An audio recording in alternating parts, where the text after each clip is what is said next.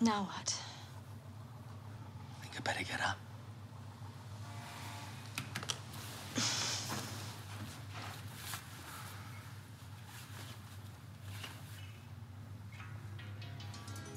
Fuck.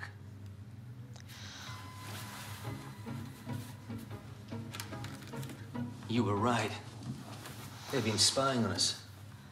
The room's bugged. You see that? A camera's eye. What are we gonna do? Well, for a start, let's put that back there. They probably couldn't see much in the dark. Let's give them some light.